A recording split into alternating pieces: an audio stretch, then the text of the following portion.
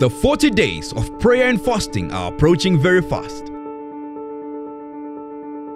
Do you know how to fast?